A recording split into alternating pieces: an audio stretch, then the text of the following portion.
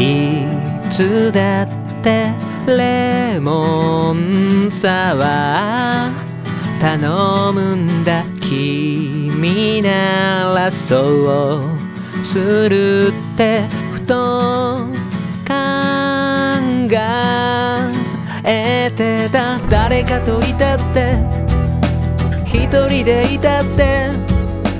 どこにいたってなぜか思い出すんだ君の好きだったものがすぐ近くに溢れているから忘れてしまいたいのに。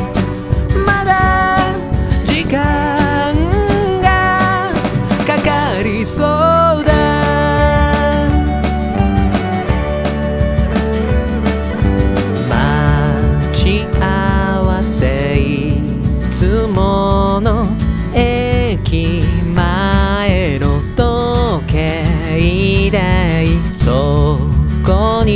君がいるはずもないわかってんのにため息の街。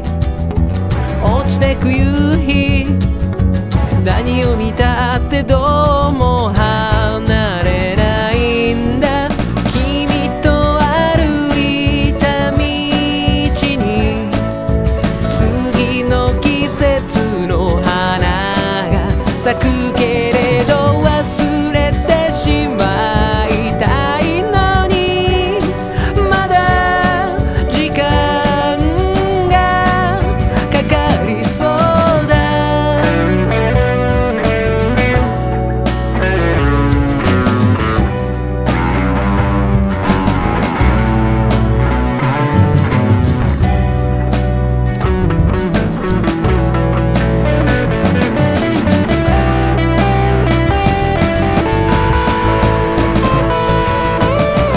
酸っぱくてちょっと甘くて弾けて消えて全てなくした気になって君と過ごした日々を大切にしなきゃなって思うけど忘れられないぐらいに